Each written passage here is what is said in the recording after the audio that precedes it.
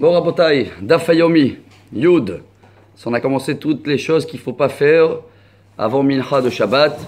Vous allez me dire en ce moment avec la Corona, il ne faut pas les faire euh, tout le temps. On va pas chez le coiffeur, on va pas dans le mikvé, on va pas dans tout ce qu'on a lu hier, incroyable. Hein Et on a vu que comme c'est des horaires de préparation de Shabbat, on risque que le couteau euh, va se casser de coiffeur, ou il va pas se sentir bien dans le mikvé, alors euh, ou un repas on démarre pas avant Shabbat. Tout ça, c'est pour bien se préparer pour Shabbat. On a vu également que à Minha, c'est pour ça qu'on fait pas Baruch haba Hatan, Beshara Tova Mazal Tov. Pourquoi on ne fait jamais Birkat Kohanim à Minha, sauf dans le jeûne? Peut-être quelqu'un il a, il a bu un peu d'alcool, un Kohen, et il ne peut pas faire Birkat Kohanim. On était dans quelle ligne, Rabotai? La, la, deuxième, en haut. Enfin, pour moi, la, la deux. Mat Kifle Rav Sheshet. Ouais, dans la ligne 4. Juste avant, on a vu que si quelqu'un il va boire pendant Minha, c'est un problème, mais pendant Arvit, il n'y a plus le problème de boire, on est après la prière. Mat Kifla Rav Sheshet. Trihuta lemeisar hamayne ve'od leikuhachi velitzle. Tu me dis que c'est un problème quand les Babyloniens, ils ouvraient la ceinture, vous vous rappelez, et ils étaient partis pour manger. Et quand il a ouvert la ceinture, c'est le début de repas. Et ça, on ne le fait pas vendredi après-midi. Quel est le problème Si c'est la ceinture, eh ben, laisse-le manger. Et quand c'est l'heure de Minha, eh ben, il se lève, il met son petit gartel, il met la ceinture, il fait la prière. Ah, Mishum Shenemar, Hikon, Likrat, Elokecha Israël. Et de là, on apprend qu'il faut se préparer pour la prière. La prière, elle ne se fait pas comme ça en une seconde. Allez, je me lève. Il y a une préparation. Hikon, tu te prépares. Et c'est de là que les chassidim, jusqu'à aujourd'hui, ils mettent le gartel, la ceinture, hein, n'est-ce pas Le hatan, voilà, il est venu pile poil avec la ceinture euh, Chabad. Et nous, les séfarades, on s'appuie où Sur la ceinture de pantalon, ou même sur les caleçons aujourd'hui. Hein. Le slip, ils ont un, ils ont un élastique. À l'époque, ils avaient euh, Jalabia. Voilà, il a fait. Regardez comment les rabbins ils se préparaient à l'époque. Rava baravhuna rame puzmeke umatzle amarikon likrat elokecha Israël. Rava baravhuna il avait des chaussures spéciales prière. Il mettait des chaussures spéciales pour la prière. La classe. Comme on a appris qu'il faut se préparer, chacun il a pris la préparation d'une manière. Rava shadeglime ou facharia de umatzle. Alors lui, il mettait un petit peu, il arrangeait la, la bien et il mettait les mains comme ça. Vous voyez, comme nous, il y en a qui le font jusqu'à aujourd'hui, c'est bien, main droite sur main gauche, et il priait. Amar, Il faut prier comme un serviteur devant le patron. Amaravashi, Hazinale le Rav Kahana. J'ai vu Rav Kahana, qui alma, quand il y avait des problèmes, des épidémies, des problèmes, des soucis dans le monde, comment il faisait sa prière? Shadeglime, Il faisait comme Rava, hein. il mettait la prière comme ça, il mettait en arrière un peu son jalabia. Amar ki avda kamemare, ki kashlama. Mais quand c'était une bonne période, il y avait le shalom dans le monde. La vishumit kese, matzle. Il mettait le talit sur la tête. Amar ikol likrat elokecha Israël. Donc vous voyez qu'il y avait même un rabbin qui avait deux façons de prier selon le l'ambiance dans le monde. Bon, maintenant vous connaissez, même si on est Shabbat, hein, mais comme la Gemara s'est attrapée sur la prière, hop, elle va détailler sur la prière des choses qu'on a déjà étudiées dans la Gemara Brachot. Rava Hazel Rava Amnuna de Bitzlot Rava il a vu que Rava Amnuna il priait trop long. Amar Manihim Haye Olam Behaye Sha'a quoi il abandonne la Torah que la Torah elle a une grande valeur et il s'investit dans la prière. Savar Zman Tfila Lechud Zman Torah mais ce rabbin il a dit même la prière c'est très important il faut s'investir à fond on n'est pas dans le niveau des rabbins de l'époque que tellement ils priaient, et vous allez voir tout de suite qu'ils même euh, laissaient la prière de côté, tellement ils étudiaient, ils laissaient la prière de côté. Rabbi Irmia, Havayat Tivkame de Rabbi Zera, vous êtes avec moi? Ligne 16. Ils étaient en train d'étudier devant Rav Zera. No galet c'est l'heure de prière, il est en retard. Rabbi Irmia. Rabbi Irmia, vite, vite, il s'est mis pour prier, car il Rabbi Zera, Messir Osno Mishmoa Torah, Gam Tfilato Toriva. La Gemara, il a dit qu'il a, il a reproché, hein, il a dit quoi? On est en train d'étudier, pourquoi tu vas prier? Mais n'oubliez pas, ça c'était à l'époque. Hein. À l'époque, leur étude était tellement balèze. Aujourd'hui, Alors euh, il faut s'investir et prendre le temps pour les prières. Les prières, ils sont fixes. On reprend le vendredi après-midi. Quelqu'un il a une affaire tribunal rabbinique. Il peut aller se faire juger ou pas? Non. Même si c'est la fin, on a vu. Pourquoi? Ça peut traîner. Ouais, Non, ça peut Mais ça. Peut rejoindre pour Shabbat. route de Shabbat. Ça l'énervait pour Shabbat. Alors, à partir de quand on n'a pas le droit de démarrer? Mais matay athalat din. Rabbi Irmiya et Rabbi Yona. Hadamar mishit atfu dayanim. Hein, il a dit dès que les dayanim mettaient le talit à l'époque, les dayanim ils étaient avec un talit. Si le dayan il est avec un talit, il a fait avant midi et demi vendredi, c'est bon, tu as démarré avant hatzot, avant midi. Mais si il a mis le talit midi et 5, Fini. on peut plus. Bon. Hadamar, mishiftehu dinim. Deuxième avis, non, c'est pas le talit des juges qui compte, c'est dès qu'il a démarré les... la parole. Bravo. Velo askeveat bedina. Et tout dépend si les dayanim étaient en pleine affaire ou pas. S'ils étaient en pleine affaire, alors c'est dès qu'il va parler. Et s'ils n'étaient pas en milieu d'une autre affaire, c'est dès qu'ils mettent le talit. Y a fait. Et maintenant, la Gemara, elle va te donner l'importance de y aller classer tes problèmes dans un tribunal rabbinique et jamais laïque. Et c'est une halakha pour nous aussi aujourd'hui. Hein. Quelqu'un a une histoire, d'abord tribunal rabbinique. S'il veut pas, tu n'as pas le choix. Rav Ami Veravasi. Avuyat Vevegar c'est Ben Armoud. Ils étaient en train d'étudier dans la yeshiva entre les poteaux. Amre. Tous les heures, il frappait sur la porte et il disait. Il y a quelqu'un qui veut une affaire juridique, il veut qu'on classe l'histoire, venez. Ça veut dire qu'il faisait une pause tous les heures, il frappait dans la porte. Bon.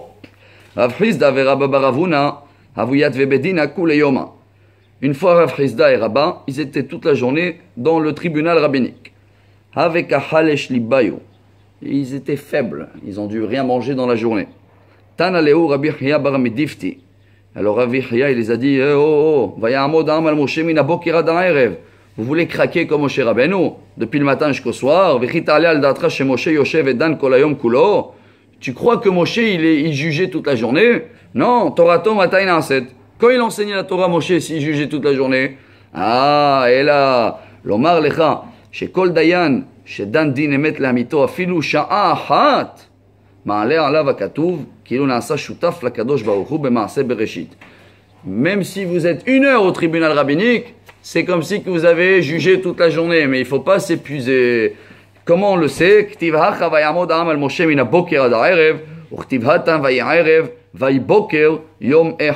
Donc ça ne veut pas dire que Moshe il était du matin jusqu'au soir au tribunal. Une heure, tribunal, et le reste vous pouvez étudier la Torah. Admata Jusqu'à quelle heure on peut terminer l'affaire juridique vendredi après-midi? Amarav Sheshet, Ad Zman Seuda, donc jusqu'à Hatzot. Amarav Hama, Maikra, Dichtiv, Ilecha Eret Shemalkech Na'ar Vesaraich Baboker Yochelu. Le roi Salomon il dit Gare à toi un pays que tes rois euh, ils, sont, ils, ont, ils ont des affaires juridiques et que les gens ils se lèvent des tentes et qui mangent le matin. Ça veut dire s'il a le temps de manger le matin et hop, ça, ça va pas. Bon. Ben.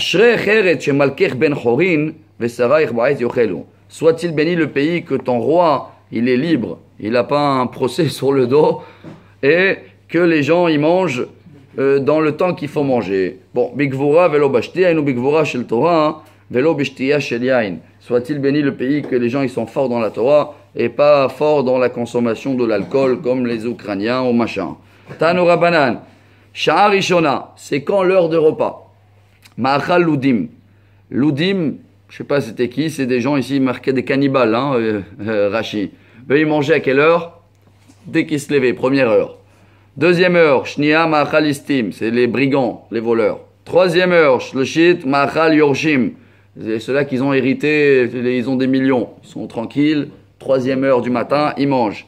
Révit, quatrième heure, c'est vers 10 heures. Ma'achal Poalim, c'est ça, vers 9 heures, c'est les employés, ils mangent avant le travail. Hamishit, voilà ça vers 10 heures. Hein. Ma'achal Koladam, les gens normaux, ils mangent vers 5-6 heures de le pile le lever de soleil. On dit cinquième heure. Eini, La Gemara dit, ah bon. Mais d'un autre côté, euh, apparemment, la quatrième heure, ça passe mieux, non? 9h, 10h, c'est ça l'heure de petit déjeuner, pas 11h. Et là, revi'it ma'achal kol adam, hamishit po'alim, t'as raison.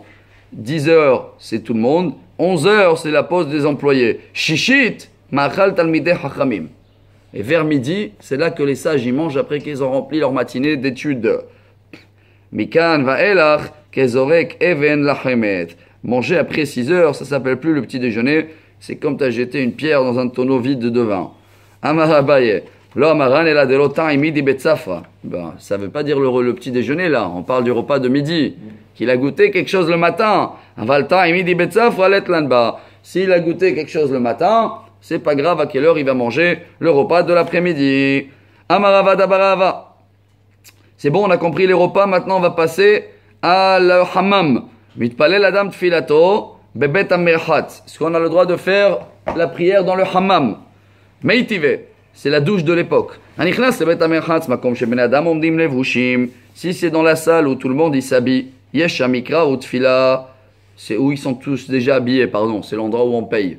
Hein, dans le mikvé. La rentrée, l'accueil. Là-bas, tu peux faire la prière et le schéma.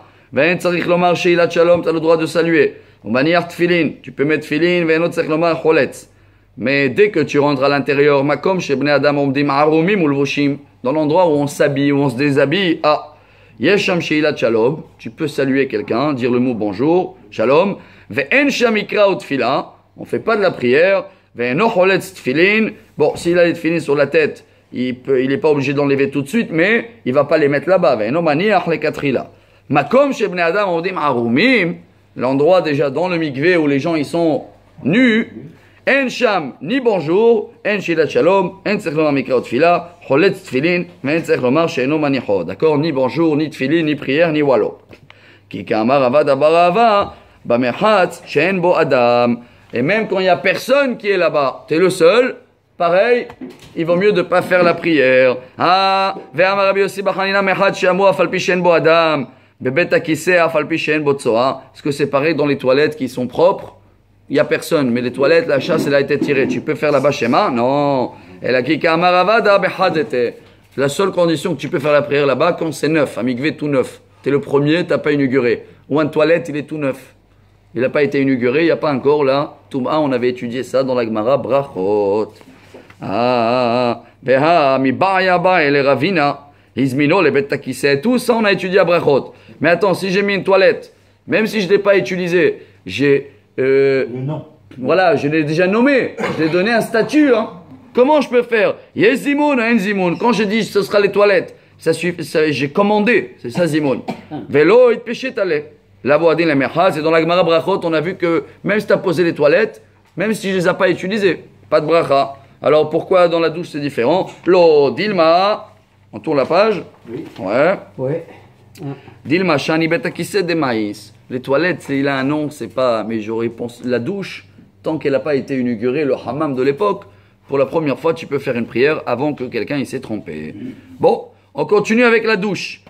En sham, ou les mikvés, si vous voulez, qui sont fermés en ce moment. Comme ça, on va. C'est comme si qu'on était. En sham sheilat shalom.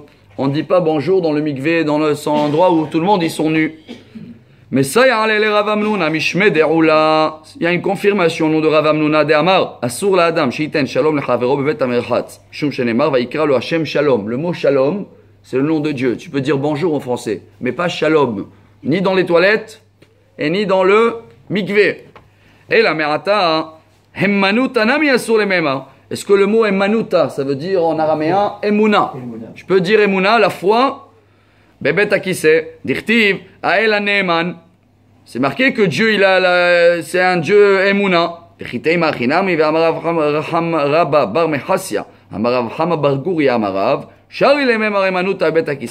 le droit de dire le mot Emouna en araméen dans les toilettes. Pourquoi? Hatam Shem Guf Eloi Kreachi,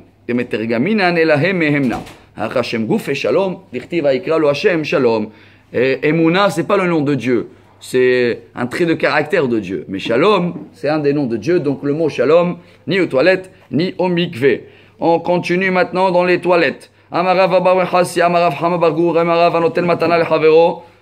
Leodio, Shenemar, la Hashem. Bon, comme on a parlé de Rava, euh, Rava, le fils de Mechassia, on enchaîne avec ce qu'il disait. Quelqu'un qui donne un cadeau, il faut toujours annoncer avant à la monsieur que tu veux le donner ce cadeau-là. Pourquoi? Peut-être il peut pas, peut-être il va pas vouloir, peut-être il va avoir honte.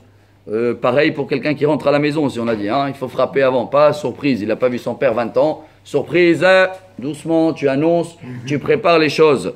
Tanya Namiachi, la date qui a ni Hashem et Kadishrem, c'est Dieu, il a fait pareil. Amar lo Akadosh Baruch le Moshe, Matana tova yeshti bebet gnazai, shma. C'est la paracha de cette semaine. Hein. J'ai un grand cadeau dans mon trésorier, ça s'appelle Shabbat. Euh, je veux le donner au peuple d'Israël. Par contre, l'ech veodiam va les annoncer. Et c'est là où Moshe descend, va yakel Moshe, et il les a dit, on va faire Shabbat. Il. Donc même Dieu, avant de donner le cadeau, il a annoncé.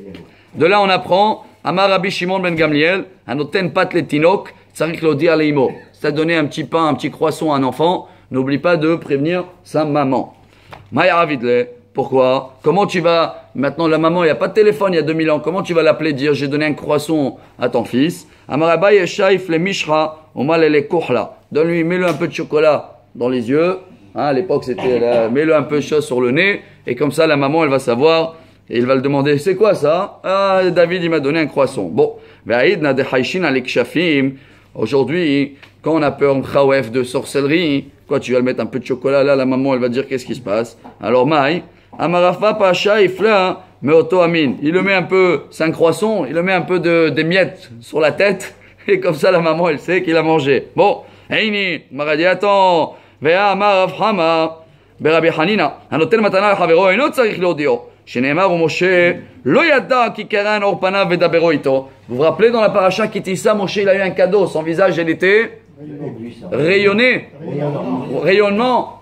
C'était un cadeau de Dieu, c'est marqué que Moshe il savait pas. S'il savait pas, c'est qu'il a reçu un cadeau sans le savoir. Alors on peut donner un cadeau sans annoncer à quelqu'un avant. Ça dépend ce que tu le donnes. Si tu le donnes un cadeau qui euh, tout le monde remarque, t'as pas besoin de le annoncer. Mais si tu le donnes quelque chose que personne n'y va remarquer, là il faut l'annoncer. On termine, il nous reste quelques minutes. Veha Shabbat, David Alegalouye et Matan Srara, le David Alegalouye. Shabbat c'est pareil, même si tout le monde connaît Shabbat, la valeur, mais on ne connaît pas le salaire de Shabbat. C'est pour ça que Dieu il a dit va les annoncer. Une petite histoire, Rav Hizda était un Kohen. Avena Kidbi de Matnata de Torah. Il avait, quelqu'un il a donné un cadeau euh, d'un taureau. Euh, Amar, de, des morceaux de viande. Amar, Kolman de Ati Amre le Shma Tzatachad Damish Mederav, Yavin Aleni. Chacun qui va me dire un beau parole de Torah, je vais le donner un cadeau. Amar le Rav Rab Amar Has Yahaki Amarav Anoten Matana le Chavero Tzarich Leodio. שנאמר לדעת כי אני השם מקדישכם. Alors il y a un ravin, il a dit, moi je veux bien te dire un Dvar Torah, mais je veux savoir c'est quoi le cadeau d'abord. Et il a dit, Yehaveni Hale. Amar lo, après qu'il a donné les cadeaux, Havivina alach shma ata de Rav kuleai, quoi, tellement tu aimes les paroles de Torah de Rav, Amarle in, j'adore. Milta al. C'est beau, c'est une métaphore comme un nouveau vêtement lent que tu aimes porter. Ça veut dire chaque fois que tu écoutes une belle parole de Torah, bravo. Amarle amarav hachi, brataita adif ali mikamaita. Venaktita nachrite, yavin Allah. Il a dit bravo hein, ce que tu m'as dit. Kol hakavod. C'est beau cette métaphore-là de, de le lin et la laine. Si j'aurais eu encore des cadeaux, je t'aurais donné même des cadeaux pour, pour ce que tu viens de me dire à la fin. Bon, on termine. Adam beno ben. Vous vous rappelez, cette mara, on l'a cité plusieurs fois. Maintenant qu'on a parlé de donner un cadeau à un enfant, ne donne jamais un cadeau à un de tes enfants en différencier les autres. Parce que qui c'est qui a fait ça? Vous savez qui il avait une différence avec ses enfants ah, euh, Chez Bishvil, Mishkal, Shneslaim, Melat, Shenatan Yaakov le Yosef, Yoter Mishar Banam, Nitkanu Boechav, Engelgel Adavar, Yardu Avotenu le Mitzraim. À cause de euh, le cadeau qu'il a donné que à son fils Yosef, vous savez bien le résultat. On termine en beauté. Bravo, on a pu, malgré le retard Merkila, de euh, terminer à l'heure. Amarav Abraham Amarav Hama Bargouri Amarav. Olam Yehazer Adam Veyeshev Ba'ir chez Shivata Krova. C'est bien de chercher une ville où il y a des nouveaux habitants, euh, où la ville elle est neuve. Ça veut dire qu'elle n'a pas beaucoup de péchés, hein. elle n'a pas de faute. Mitor chez Shivata Krova à volonté à Moatim. Chez Neymar, Hine Azot Krova Lanus Shama, Mitzar. L'autre, quand il est parti habiter, il est parti, il a dit Viens, on se sauve à Mitzar. Et il a, elle avait un an moins que Sodome. Maï Kerova il est ma Kerova de Mikrava de Zusta. C'est pas qu'elle est proche dans la distance. Elle a, mitor shivata krova, avonotea moatim. Elle était plus jeune dans l'âge, donc elle avait moins de péchés. Et on termine. Amarabi Avin, Maïkara, comment tu sais qu'elle était plus jeune? Dirtivi Malta Na Shama. Na, Gimatria Hamishim Ve'echad.